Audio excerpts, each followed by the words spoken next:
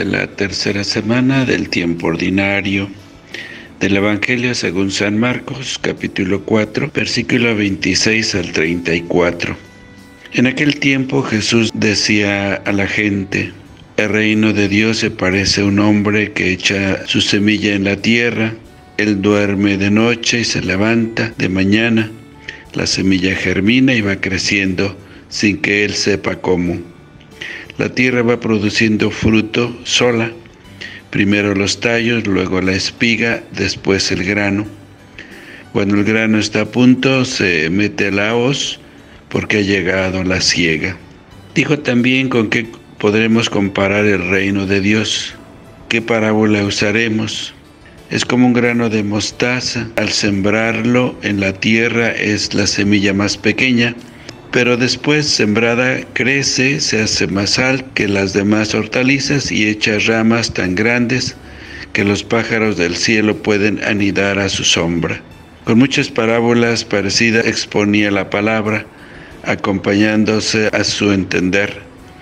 Todo se lo exponía con parábolas, pero a sus discípulos se lo explicaba todo en privado. Palabra del Señor. Gloria a ti, Señor Jesús. Otras dos parábolas para explicar lo que es el reino de Dios, tomados de la vida del campo y, y de nuevo con el protagonismo de la semilla. La primera es la de la semilla que crece sola, sin que el labrador sepa cómo. El reino de Dios, su palabra, tiene dentro una fuerza misteriosa que a pesar de los obstáculos que pueda encontrar, logra germinar y dar fruto. Se supone que el campesino realiza todos los trabajos que se esperan de él, arando, limpiando, regando. Pero aquí Jesús quiere subrayar la fuerza intrínseca de la gracia y de la intervención de Dios. El protagonista de la parábola no es el labrador, ni el terreno bueno o malo, sino la semilla. La otra comparación es la de la mostaza, la más pequeña de las semillas, pero que llega a ser un arbusto notable después. De nuevo, la desproporción entre los medios humanos y la fuerza de Dios. El Evangelio de hoy nos ayuda a entender cómo conduce Dios nuestra historia si olvidamos su protagonismo y su fuerza intrínseca que tiene su Evangelio, sus sacramentos y su, y su gracia, nos puede pasar dos cosas. Si nos va bien, pensamos que es nuestro mérito, y si mal, nos hundimos. No tendríamos que enorgullecernos nunca como si el mundo se salvara por nuestras técnicas y esfuerzos.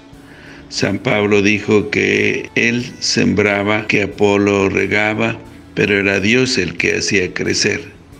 Dios a veces se dedica a darnos la lección de que los medios más pequeños producen frutos inesperados, no proporcionados ni a nuestra organización ni a nuestros méritos e instrumentos. La semilla no germina porque lo digan los sabios botánicos, ni la primavera espera a que los calendarios señalen su inicio. Así, la fuerza de la palabra de Dios viene del mismo Dios, no de nuestras técnicas o esfuerzos. Por otra parte, tampoco tendremos que desanimarnos cuando no conseguimos a corto plazo los efectos que deseábamos. El protagonismo lo tiene Dios. Por malas que nos parezcan las circunstancias de la vida de la iglesia o de la sociedad o de una comunidad, la semilla de Dios se abrirá paso y producirá su fruto. Aunque no sepamos cómo ni cuándo, la semilla tiene su ritmo. Hay que tener paciencia como la tiene el labrador. Cuando en nuestra vida hay una fuerza interior, el amor, la ilusión, el interés, la eficacia del trabajo crece notablemente.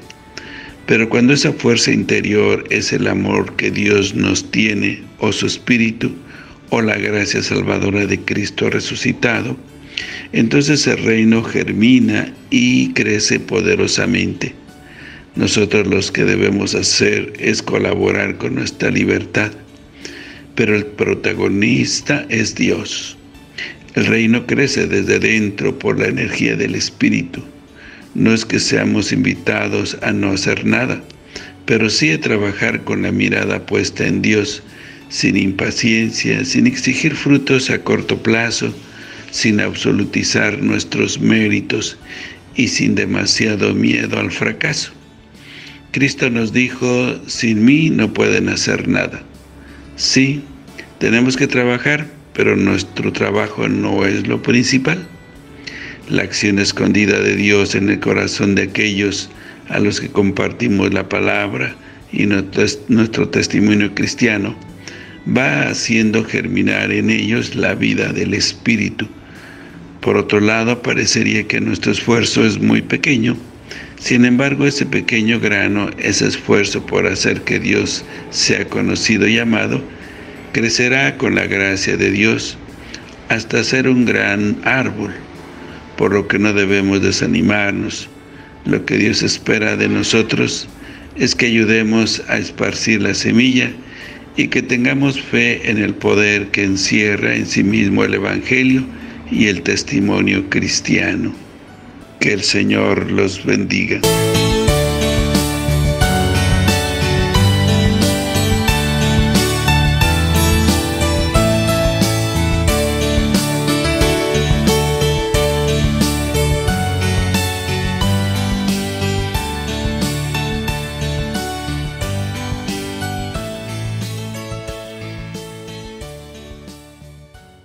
La bendición de Dios Todopoderoso, Padre, Hijo y Espíritu Santo, descienda sobre ustedes, que los acompañe siempre.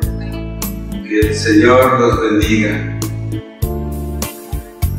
Si te gustó este video y deseas seguir recibiendo el Evangelio, misa en vivo, oraciones y muchas reflexiones más, Ayúdanos a seguir creciendo. Suscríbete a este canal de YouTube.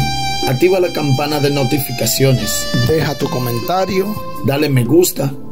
Y compártelo con todos tus seres queridos. Que el Señor te bendiga a ti y a toda tu familia. Bendiciones.